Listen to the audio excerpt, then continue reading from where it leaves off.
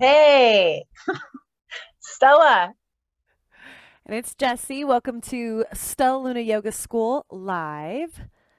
Today Super. we are talking about Satya, which is one of our yamas. It's the truth, and it's about what truth is.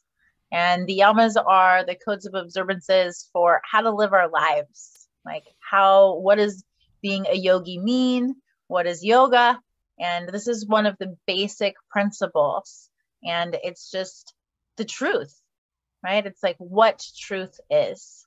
Uh, in the Yoga Sutras, it actually says that when you're established in truthfulness, then all of the actions and results become subservient. So, what does that mean? That means that when you're telling the truth and when you're established in your truth, then all of the worry and the anxiety and the what ifs and could haves and should haves fall away. I think what the truth is that there is one truth, and that is that we all only have one truth, and that we know what we know, and that's all that we know. And when we reduce the need to make stories up in our head that continue suffering, when we reduce the need to gossip, talk about other people, then our lives become so much more simple because we're just talking about what we know. The Buddha says if you just because you read it, you heard it, somebody learned it from something from somewhere else, doesn't mean that that's your truth.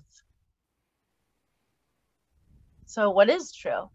And know what's true for you and recognize that that might not be true for someone else.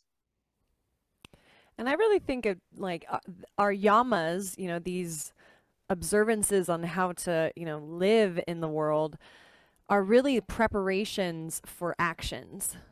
You know, and so I feel like especially, you know, things like this satya, it's om- almost creating this it's a practice of being aware and being mindful, which is mindfulness is this practice of hovering above the situation or hovering above your thoughts, your feelings, what's going on, so that you can respond rather than react.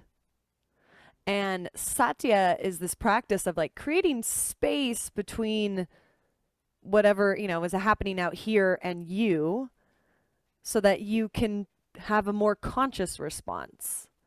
You know, and you can kind of discern, I think, as the yogic practice is being able to discern like am I going to say this because of I'm reacting out of my own frustrations or I'm trying to defend myself or is is what I'm going to say or what I'm going to do going to be benefit the welfare of others? Am I going to create harm or am I going to create harmony?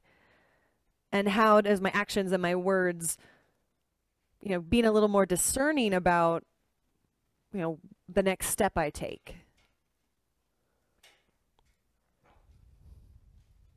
So, living your truth, like living your own truth in that way, is then the ability for you to be the witness to what's happening. So, you can just accept what's going on without needing to defend, protect, uh, defend or protect, right? You just, when you know that it's true, you know who you are, what you want, and how you're going to get it then there isn't that need you don't have the need to to react you don't have the need to react anymore because you know what your truth is Mm-hmm.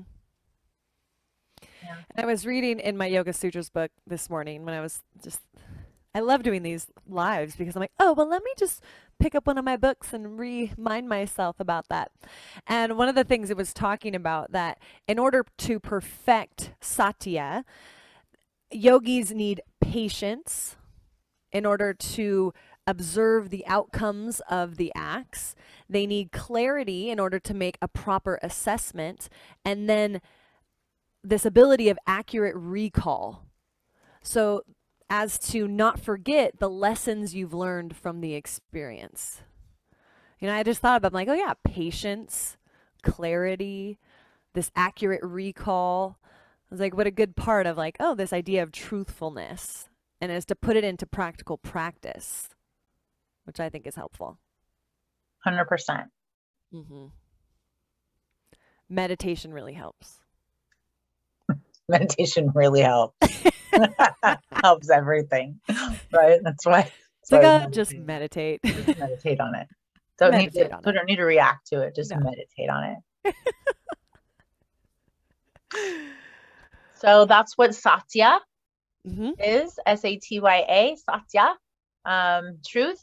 Sometimes you'll hear Satnam, like truth is my name. That's what it is. So we're that's super happy. that's, that's what it is. It's really simple. That's what the truth is. The truth, your truth. So get paid, be patient, be clear, and know your truth today. Stay in your heart, listen to your heart, act from your heart. That is what Stella Luna Yoga School certification program and DIY for the householder is. So we hope that you have the best day ever. Thanks for sharing your time with us today.